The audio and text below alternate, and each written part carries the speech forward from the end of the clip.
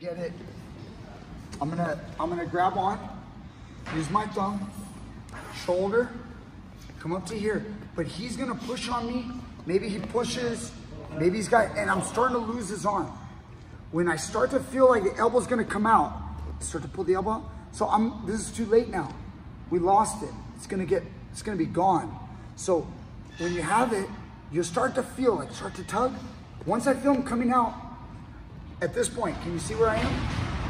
My, my left arm is slid down and instead of, instead of pulling, because he's pulling, right? We're in the tug of war.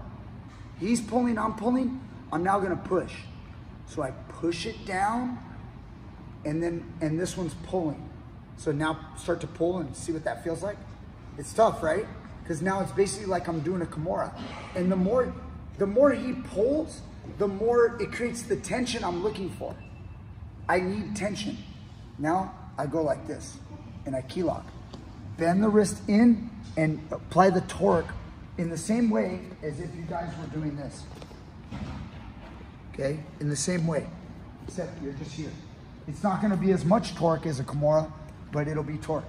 So maybe he's got his head or his hand. You can do, yeah, go back to hand, that's fine. So start to pull your arm out. It's about to come out. I push and I grip. Sorry about that. Now try to pull it out now. Now, now that I'm here, I'm just hanging my weight. See, I'm just like lowering my body weight. Okay. If he walks in a circle, like maybe you circle that way and you pull me this way, like I don't want to fall on my face, like stumble. So I keep my balance. So try to use your arm to make me fall that way, which is kind of the direction I can. See, I just move my feet. If you circled the other way, it would you would start to feel like, yeah, he starts to feel like he's breaking his own arm. So when he circles towards my front, he feels like it's worse. So he kind of like, he gives me his arm in a sense so that I'm not, I'm not breaking it.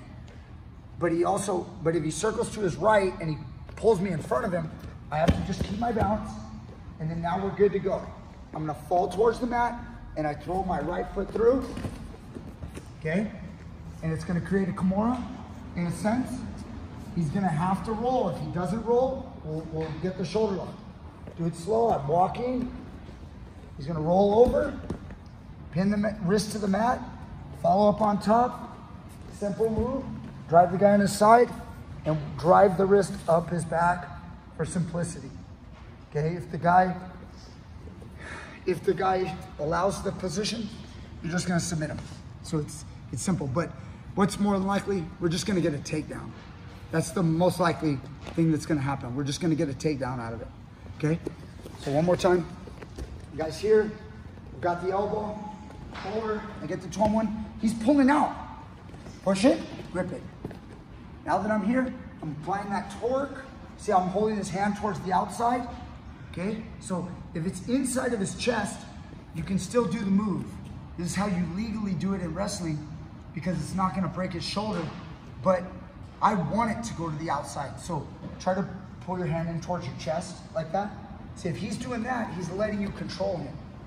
But if he tries to pull his arm out, you see how like now I can bring it outside.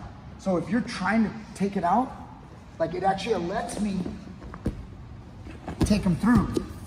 If his hand ends up in front and you can't get it to the mat, which is likely, he'll, he'll defend, maybe he'll hold his hands, you won't be able to, then we just get on top and we're good to go. We do have our armbar we've been practicing. We'll do that next, okay? So first just use it to get on top. Um, I think the last thing I wanna say is the angle at which you fall. So when I do this, I wanna go this way, like, so I'm falling right here, and I'm trying to go this way. See, so he's going here, I'm going here. So I can do this. If you guys fall like this, you don't have torque on Dan. There's no way for me to make Dan fall now at this angle, okay? So when you fall, make sure you, you're, you're hanging on it and we're gonna make a rotation. Okay, take him go through. And then right shoulder, and I'm driving this up his back. Boom, getting the Kimura. Okay, let's go. One, two, three. Hug the arm, hug it. And he's pulling out, now push. push and straight, straighten it down. Straight, yeah. So now, again, he's circling to the front. So remember, if he doesn't circle to the front, let's say he stays to the side of you too much. Like, I'm saying he doesn't cir- circle to the front, like, he's not gonna break his own arm. But what I'm saying is, like, if he's just chilling like this, Take his back. I mean, you can just go behind him now. You can just grab around. So he, what I mean is simulate like it's real. Like, he's still gonna be trying to do a little bit of circling, trying to pull the arm out. There's tension. Now go ahead, keep the tension the whole time. Stay right on top of him when you spin. Stay on top of him. Up on top. Good. I know it's hard, you don't want to hurt your partner, but you gotta like lose weight Yeah. without hurting his arm. You still gotta put your weight. If you drop your weight on your butt, then your, your simulation isn't right. So watch, when he's here, his weight comes on top. Yeah. See? And he, he put maybe like a knee, you know, like a knee on the mat just so he doesn't hurt his training partner, but he's still on you.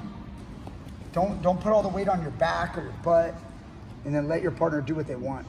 So we got the two on one, okay?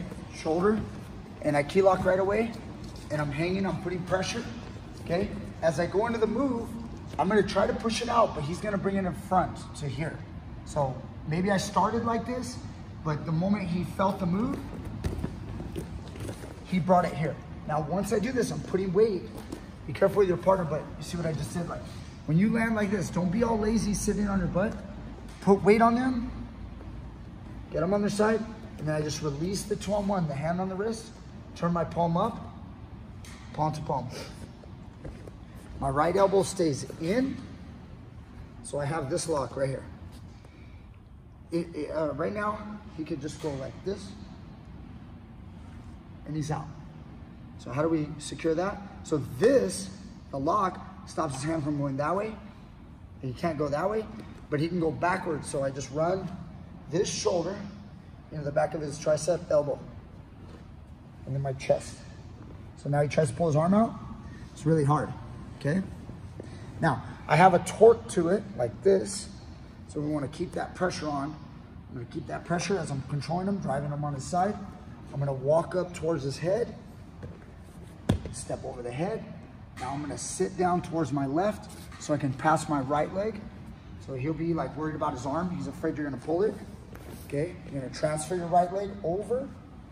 And then we have this kind of arm bar. Like this is gold, okay? So we're gonna keep pressure against his head. I'm gonna pry it and keep the Kimura action going to break his grip. So I'm applying torque this way, and then I'm gonna pull it to me. Okay, so I'm pulling it, but it's not all arms, it's also my hips. I'm opening up my hip joint at the same time. So I'm doing this, I'm doing this, okay?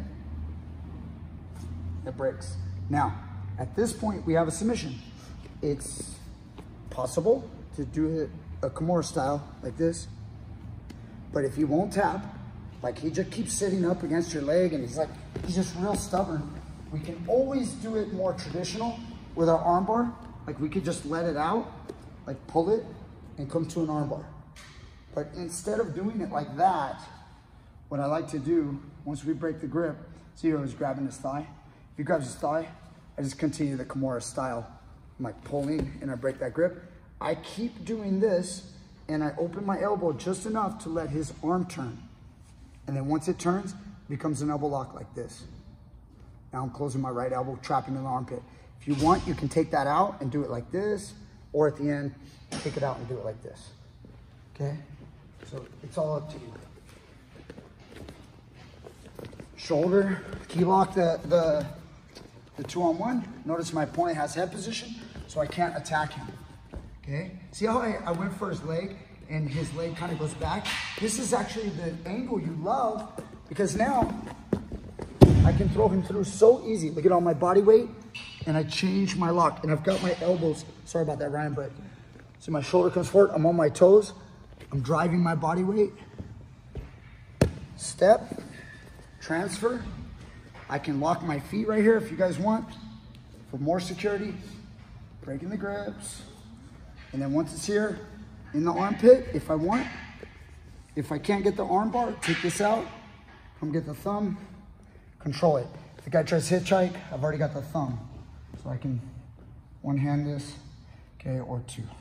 Obviously two. Why did I say that? Why did I say one handed? It's a show off. Okay, nobody's watching. All right, shoulder, control. Remember, I'm trying to get to after that foot. Lock. You trying to move? See, I have that control. Step over, transfer, breaking the grip, Kimura, and elbow lock. Okay? It's up to you. One, two, three.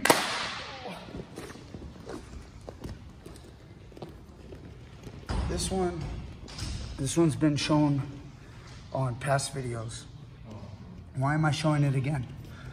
Um, I'm showing it again because it's a move that I hit in training, live training the other day. I started training again. And then I was like, you know what? This is a good move. We need to show the world this move.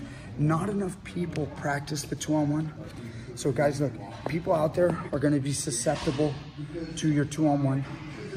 And because they don't practice it, they don't practice the key keylock version um, that much. Again, there, there are people, when I say they, I mean the overwhelming majority. Remember, when the majority of people are practicing one thing, like double leg, single leg, whatever it is, doesn't matter.